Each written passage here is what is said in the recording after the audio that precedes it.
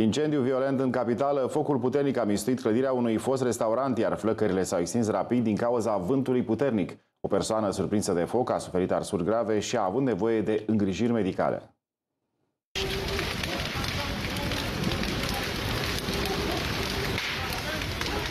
Au fost momente de spaimă în capitală. Incendiul s-a produs în sectorul 5 al Bucureștiului, după ce, potrivit martorilor, s-au auzit mai multe bubuituri puternice în apropiere. Oamenii, panicați de fumul care le intra în case, au sunat imediat la 112.